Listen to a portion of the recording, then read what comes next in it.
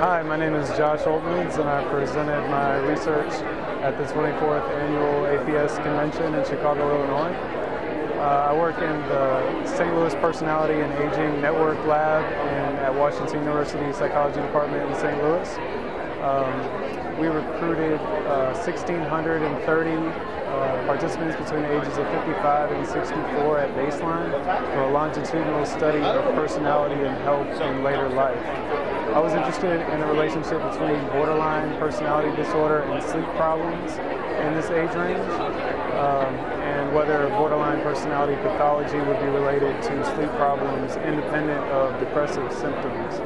What we found was that um, borderline personality pathology was significantly associated with sleep problems, but after controlling for depressive symptoms, the relationship was no longer there. Um, so it seems that depressive symptoms uh, mediate the relationship between borderline personality pathology and sleep problems in this age range, which is interesting.